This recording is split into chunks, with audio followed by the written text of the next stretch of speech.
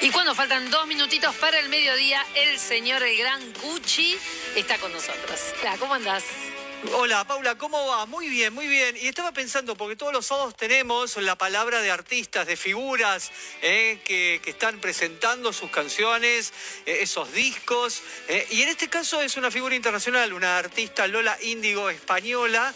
Eh, que está acá en la Argentina promocionando su nueva canción La Reina y estuve con ella para conocer un poco más sobre este tema, su relación con la Argentina, porque ella por ejemplo grabó con Tini, con María Becerra, Ah, eh, tiene una eh, trayectoria muy importante.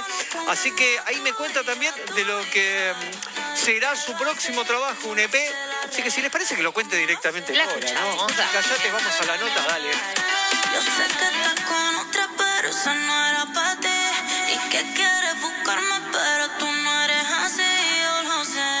¿Cómo está viviendo? ¿Qué, ¿Qué significa para vos este país y Buenos Aires? Es mi segunda casa en realidad. O sea, he venido más veces aquí que a cualquier otro país de Latinoamérica y la verdad que siempre me reciben como si fuera eso. Cuando pongo un pie aquí ya me están llamando para hacer cosas, para salir a comer, para salir de fiesta. Me gusta mucho.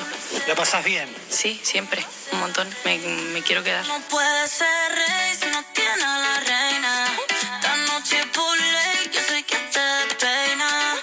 oportunidad estás con La Reina, una nueva canción, un adelanto de tu próximo EP. ¿Cómo la puedes describir? Es, una, es un merengue muy divertido, con, mezcla con electrónica, tiene al final un- una parte de tecno, lo cual hace la canción bastante especial y viene muy bien ahora para el verano argentino, así que ojalá que la disfruten mucho. Si te veo con ella, sé que rapidito te late. eh. Pero no hay competencia, yo le di su jaque mate. Y la canción tiene un video. ¿Cómo lo puedes describir? El vídeo es muy divertido porque hacemos una batalla de baile de yo contra yo y con mis amigos y fue muy divertido rodar, vinieron fans a figurar.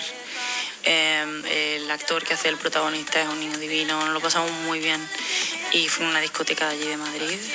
Eh, no sé, fue, fue un día bastante, fue un rodaje bastante ameno. Estoy muy acostumbrada a hacer rodajes muy duros de coreografía y la verdad que este fue bastante ameno. Que tú no puedes ser rey